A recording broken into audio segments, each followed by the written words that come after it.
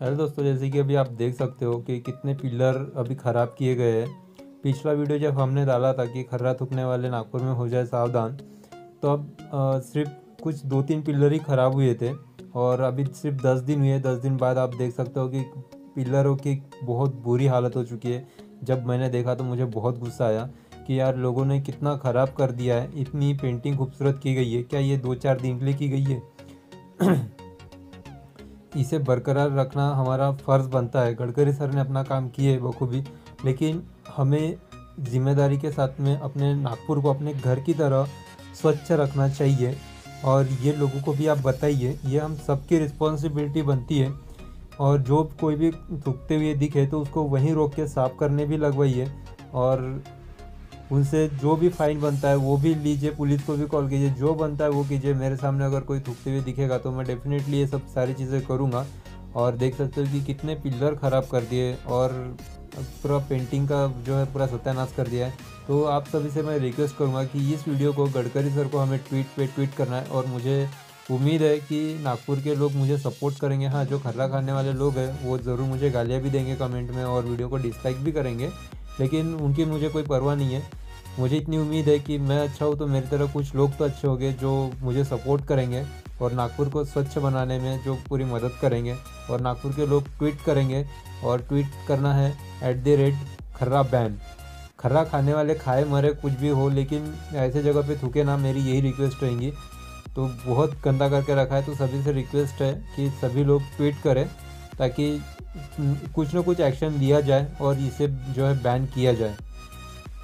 बहुत गंदा लगता है। अगर आज हम एक्शन में नहीं आएँगे तो पूरा पिलर कुछ दिनों में ही पूरे ख़राब हो जाएँगे और फिर जो है नागपुर की खूबसूरती जो है चले जाएँगी और नागपुर को जो स्मार्ट सिटी बनाने का सपना है वो सपना ही सपना रह जाएगा।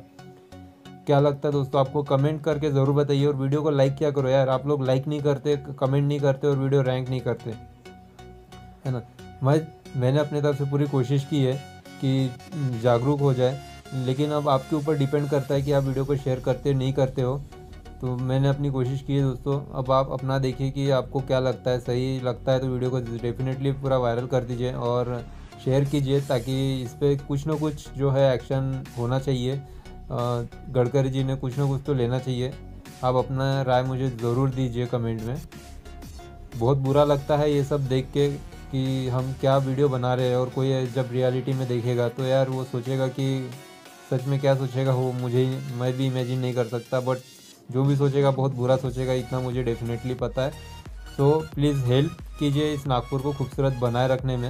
यही उम्मीद करूँगा कि आप लोग मुझे पूरा सपोर्ट करोगे और वीडियो को वायरल करोगे दोस्तों। क्या बोलूँ, मुझे समझ में नहीं आ रहा है, मैं ज़्यादा कुछ बोल भी नहीं सकता बट उम्मीद करूँगा जो भी वो अच्छा हो। मैं अभी मानकापुर वाला जो रोड है, छावनी वाला वहाँ पे हूँ और अभी आप देख सकते हो कि काफ़ी अच्छा मराठी भाषा का यहाँ पे जो है पेंटिंग किया जा रहा है और हमारे साथ में मैडम भी है, जो आपने पार्ट वन में देखा था और बोला भी था कि मैडम से ज़रा बात करवाइएगा। तो मैं मैडम से यही पूछूँगा कि ये जो पेंटिंग कर रही इतनी खूबसूरत, उसके लिए तो बहुत बहुत धन्यवाद इन्हें। और जो पिलर पे थूक रहे उनके लिए क्या मैसेज देना चाहेंगे तो हम मैडम से बात करेंगे।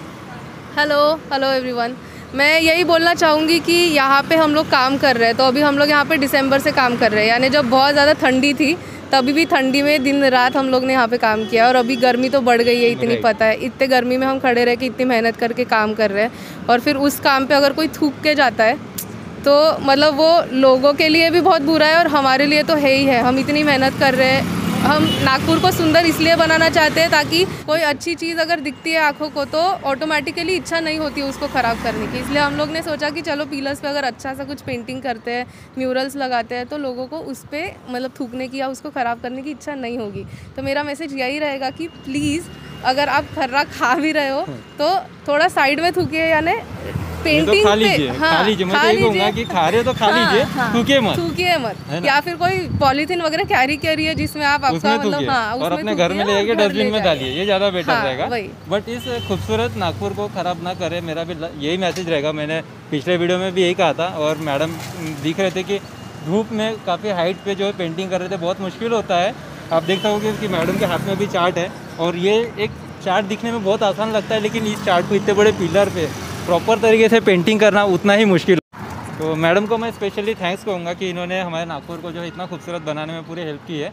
इसलिए बहुत बहुत धन्यवाद मैम आपने टाइम दिया इसके लिए भी बहुत बहुत थैंक्स आपको। बस एक ही रिक्वेस्ट है प्लीज़ प्लीज़ प्लीज़ इसको ख़राब मत कीजिए और इसको अच्छे से रखिए।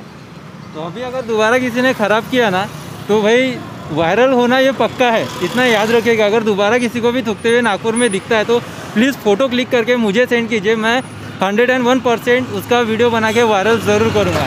ये हम सबकी रिस्पॉन्सिबिलिटी बनती है नागपुर को स्वच्छ रखने में।